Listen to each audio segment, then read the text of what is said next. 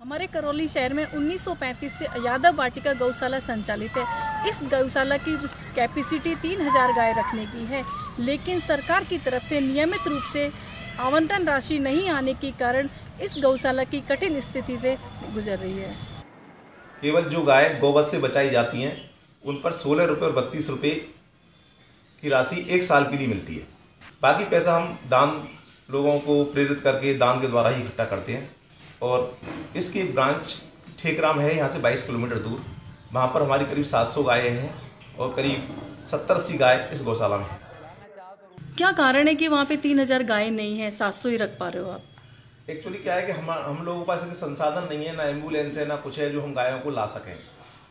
यदि कोई आदमी हमारे पास लेके आता है तो हम उस गाय को ले लेते हैं। हम बाहर से लाने का कोई प्रयास नहीं करते। बहुत जगह गौशालाएँ खुली हुई हैं। उन गौशालाओं पे सरकार अगर उनको पूरा सहयोग करे अनुदान दे तो वो गौशाला अच्छे से चल सकती हैं और वहाँ पे लोग अपनी गायों को या जानवरों को डाल सकते हैं। गायों का संचालन कैसे कर पाते हो? लोगों से पैसे मांग के लाते हैं दान के रूप में उससे संचालन करते हैं।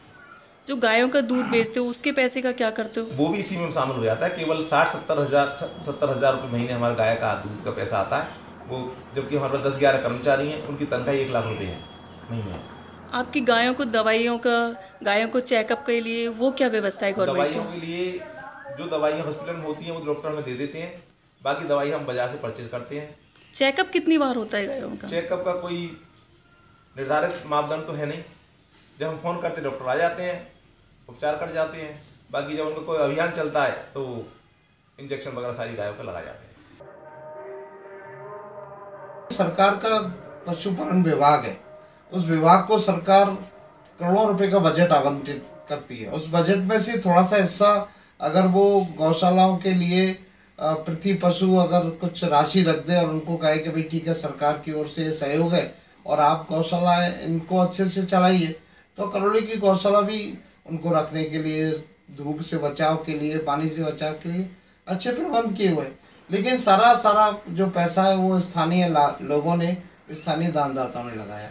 और मेरा समुदाय चाहता है कि हमारी करौली की गौशाला को नियमित रूप से आवंटन राशि मिले, ताकि सड़क पर घूमने वाली गायों को व किसी के द्वारा छोड़ी हुई गायों को भी गौशाला में रखा जा सके, जिसके लिए गौशाला विभाग के डायरेक्टर का, राजेंद्र किशन का मोबाइल नंबर है one four one two seven four zero five one nine. इन पर कॉल करें और दबाव बनाएँ। सुनीता कसेरा, इंडिया अनहड़ के लिए।